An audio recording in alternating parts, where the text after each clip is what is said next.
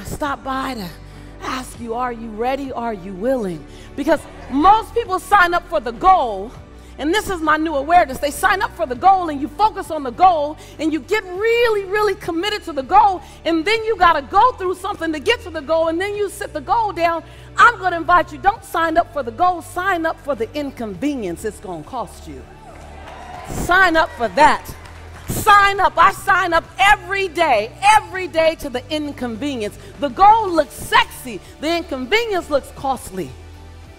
But if you sign up for the inconvenience, then the goal will take care of itself. Every day, say yes to whatever it takes, no matter what.